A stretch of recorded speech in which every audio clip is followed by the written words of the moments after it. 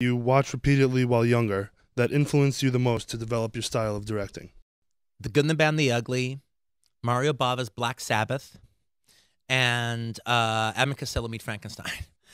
And um, I think Good and the Bad and the Ugly is probably obvious, all right, why it's been such an influence to me. Um, and uh, Black Sabbath, actually, I, I Mario Bava became one of the first directors that I got to know by name because I saw Black Sabbath on late night television and would like, kind of look forward to seeing it pop up again. He's a great Italian horror filmmaker, and uh, then I started noticing other movies in the TV guide that had his name, and they all had this big, cool operatic quality about them.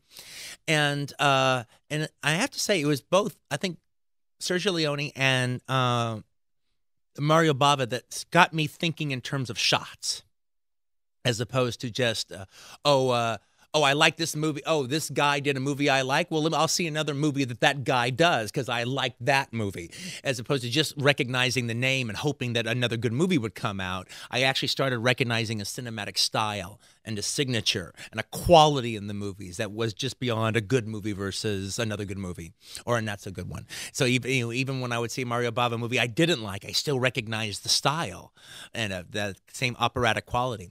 But uh, uh, Abbott Costello Meet Frankenstein is that was probably my favorite movie when I was really, really, really young.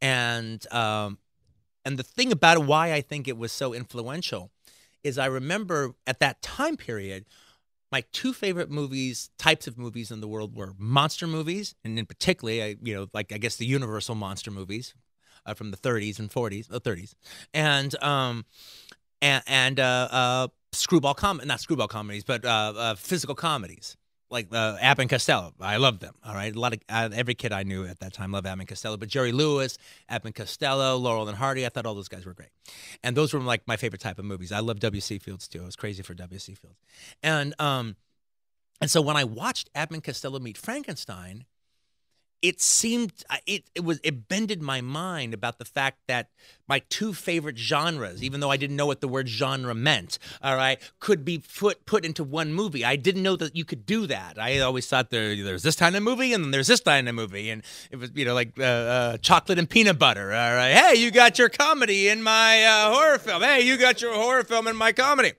Hey pretty good uh, but the fact that I was even, you know, at a little boy at seven or eight, uh, or maybe even younger, making genre distinctions, not knowing that, uh, because uh, I literally thought, wow, this is the greatest movie ever. The two my two favorite types of movies in one. When it's scary, it's really scary, and when it's funny, it's really funny.